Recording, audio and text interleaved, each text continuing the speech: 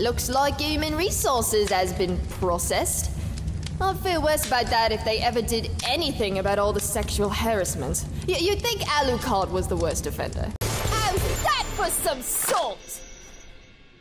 Ugh, God damn it! What's the point of coming up with all these one-liners if they're all dead when I say them? To be fair, it wasn't really that funny to begin with. It's a matter of perspective, really. Fuck you, that's how. Zorin, was it? L- listen, Zorin, this old fucking place is my house. You ain't the queen vampire bitch yeah? I am. And you know what we Brits always say? God save the queen. Chief replacement. I wanted to send you this friendly little letter to inform you of your imminent demise. If you're curious about the frequency of which I've sent these letters, it is merely to instill as much fear as I can, as if basting a turkey, which I will then proceed to have sex with. That's right, I'm going to fuck the fear turkey. Follow me on Twitter at the Crimson Fucker. The funny thing is, In any other circumstance, you might have had a point there. Except my boss is a woman, I was a chick in the 40s, I hate everyone equally, and there's no one alive who could comprehend my sexual preference. So, in other words, Miss Van Winkle, cha-cha-cha-check your privilege! After all these years, you finally get to stick it in me, and you put it in the wrong hole. Oh, look at you! You've gone from daddy to daddy! And all because you wanted this! And here it is, folks the return of. Bite your fucking tongue! Jolly Wally! Oh, how many years has it been? Fuck you! That nickname was never clever! Aw, Jolly Wally doesn't like his nickname! Jolly Wally's being a sad lad. Fuck! Oh, but if only we had the opportunity, could have avoided all the sexual tension and treachery. Excuse me? Please, we both know the reason you sold your soul was because you never got to hear. Uh, Walter-san, you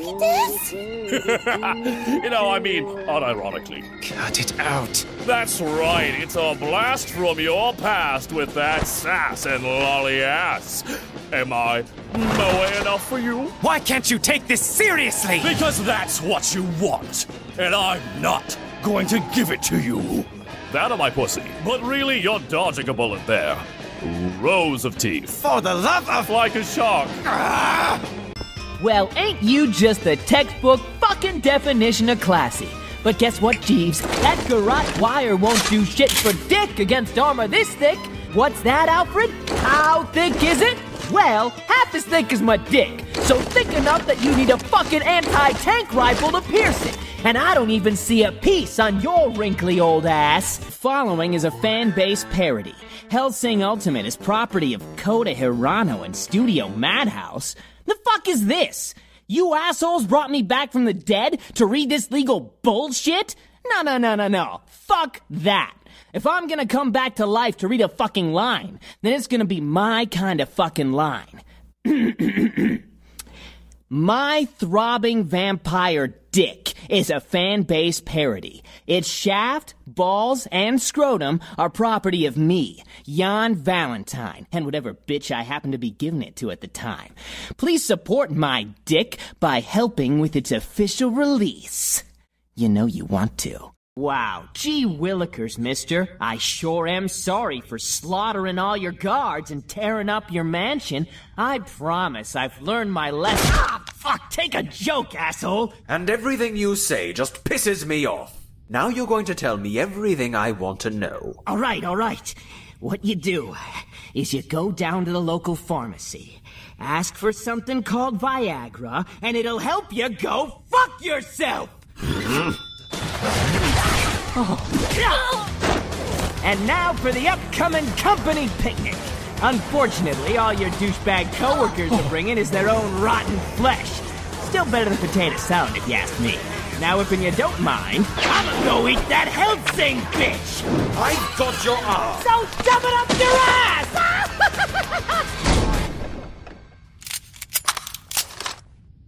well, that's not fair at all. Honestly, Willingham, we were prepared for a full-on tactical assault. Instead, we got a volley of swastika-covered dipshits running dick first into enemy territory. Still kind of crazy, though, isn't it? No way! If you told me two years ago, when we were either starting or ending a war in the Middle East, that we'd end up fighting Nazi vampires, I'd have kissed you full on the mouth. But now, all I feel is robbed. Well, if it makes you feel any better, there's a giant woman outside. What? Next time, maybe I'll get past first base. ah, fat chance. You're about to find a way for a lout like me. Ah, okay. Let's grab some knee pads, a stiff drink, and gobble his cock. You want to sit back and whimper like the little preschool bitch you are? Go ahead! But Alucard isn't here. He's on a fucking boat, and there's not a goddamn thing we can do about it. So do some fucking soul searching, or locate the shattered remains of your testicles. And hope, like always, that the girl comes first, before that barricade gives way, and you're made into the world's whiniest lunchable!